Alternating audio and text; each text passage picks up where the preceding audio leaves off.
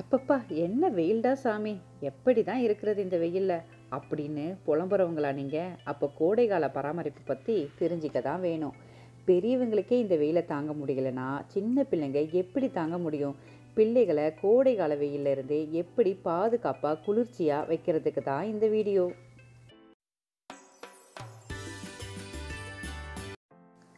குளியல் முறை ஆடை வெயில் செல்லுதல் அறை வெப்பநிலை வீட்டில் கோடைக்கால வசதிகள் உணவு முறை நோய்கள் இதை பற்றி தான் பார்க்க போகிறோம்.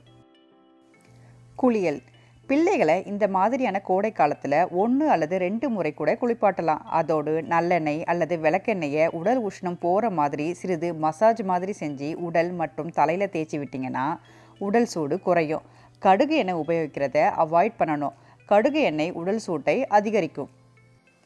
எண்ணெய் தேய்க்கும் போது உடம்பில் உள்ள எண்ணெய் முற்றிலும் போகும் வரை நன்றாக குளிக்க வேண்டும். முக்கியமாக எண்ணெய் பிள்ளைகளின் காது ஓரம் கை மற்றும் கால் மடிப்புகளில் இருக்கும். இது சில பேருக்கு சரும பிரச்சனையை ஏற்படுத்தும். அதே மாதிரி சில பேர் குழந்தைங்களுக்கு பாசிப்பருப்பு பவுடர் யூஸ் பண்ணுவாங்க. பாசிப்பருப்பு பவுடர் குளிர்ச்சியை தரும். இது உங்கள் குழந்தைகளுக்கு ஒத்துக்குச்சுன்னா யூஸ் பண்ணுங்கள் ஏன்னா சில குழந்தைகளுக்கு இது சரும பிரச்சனை அரிப்பு என பல தொந்தரவை தரும். அடுத்ததான் நான் சொல்ல போகிறது தலைமுடி. பிள்ளைங்களுக்கு கோடை காலத்தில் ஷார்ட்டாக தலைமுடியை வெட்டி விடுறது நல்லது.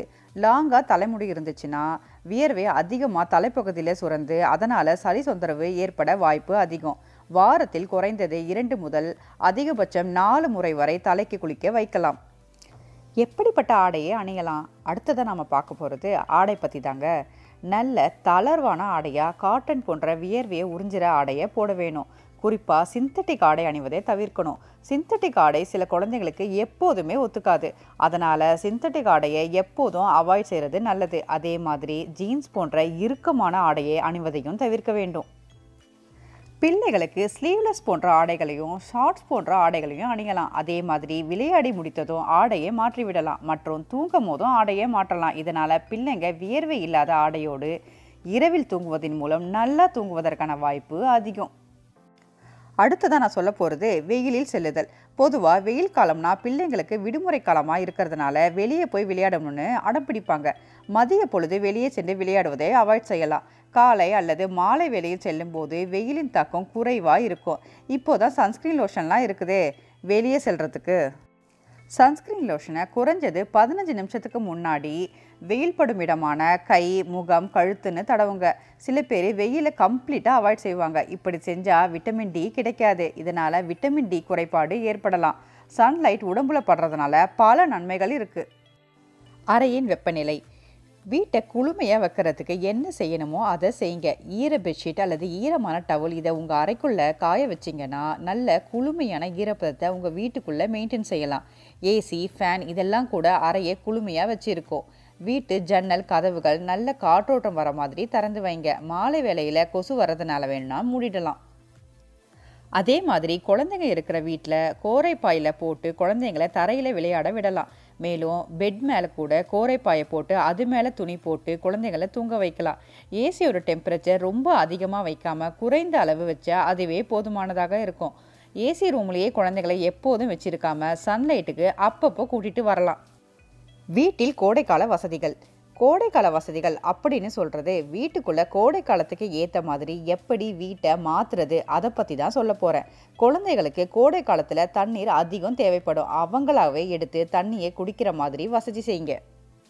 நடை பழகிற குழந்தைகளுக்கு தண்ணீர் பாட்டை அவங்களாவே எடுத்து குடிக்கிற உயரத்தில் வைங்க. அஞ்சு வயசுக்கு மேலே இருக்கிற பிள்ளைகளுக்கு செயற்கை குளிர்பானங்களை வாங்கி ஃப்ரிட்ஜுக்குள்ளே வைக்காமல் எலுமிச்சை பழச்சாறு கிருணிப்பழம் தர்பூசணி போன்ற பழச்சாறுகளை கொடுங்க. அதே மாதிரி மோர் தயிர் இதை வீட்டில் அதிகமாக வச்சுருந்தா நீர் மோர் லஸ்ஸி தயிர் சாதம் இப்படி உணவு முறைகளை செஞ்சு வரலாம். கைவிசிறி கோரைப்பாய் ஊஞ்சல் இப்படி உங்கள் வீட்டு திண்ணையை கோடை காலத்துக்கு ஏற்ற மாதிரி வசதி செய்யுங்க. அடுத்ததாக நான் சொல்ல போகிறது உணவு முறை.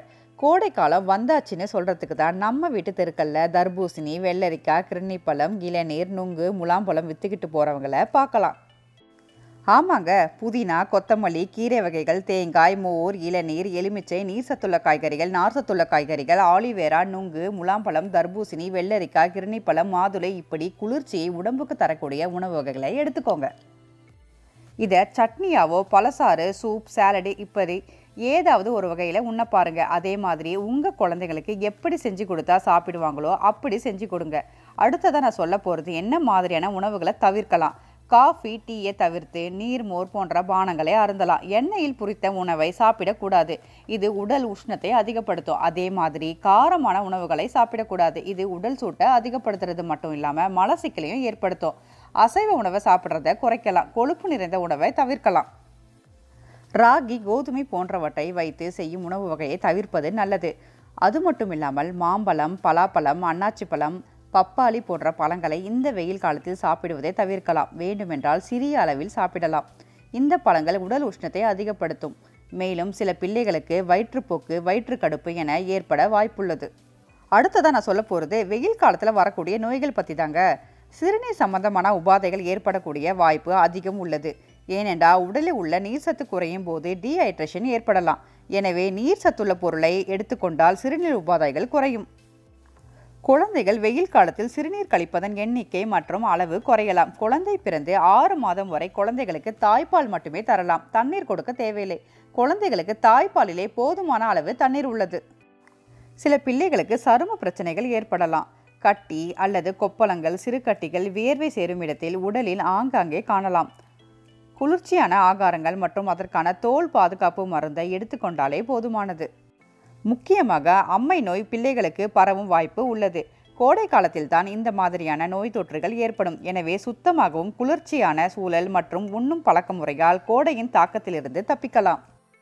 உடலை குளிர்ச்சி செய்கிறேன்னு சொல்லிட்டு எல்லா வழிமுறைகளையும் ஒரே நேரத்தில் கடைப்பிடிச்சா அது உடலை அதிகப்படியாக குளிர்ச்சி செஞ்சு அதனால் ஜலதோஷம் பிடிக்கக்கூடிய வாய்ப்பு இருக்குது உங்கள் பிள்ளைகளுக்கு எந்த உணவு வகை சாப்பிட்டா ஒத்துக்குமோ அந்த உணவு வகைகளையும் எந்த பழதினசுகள் சாப்பிட்டா ஒத்துக்குமோ அதை சாப்பிட வாங்கிட்டு வாங்க. அந்தந்த சீசனுக்குரிய பல தினசுகளை உங்கள் பிள்ளைங்களுக்கு வாங்கி கொடுத்தா அவ்வேளையும் மலிவாக இருக்கும். அது மட்டும் இல்லாமல் அதனோட சுவையும் அருமையாக இருக்கும். அதே மாதிரி குளிப்பதற்கு முன்னால் அல்லது குளித்த பின் சிறிது நேரம் தண்ணீரில் விளையாட அனுமதிங்க. ஆனால் பெரியவங்க கண்காணிப்போடு இதை செய்ய அனுமதிங்க. எல்லா பிள்ளைகளோட உடல்வாகு உஷ்ணநிலை வேறுபடும். அதனால் அவங்க உடல்நிலையை பொறுத்து மேற் சொன்ன கோடைக்கால பராமரிப்பை செய்யுங்க இப்படி செஞ்சால் கோடை வெயிலிருந்தே நம்மளை நல்லாவே பாதுகாத்துக்கலாங்க.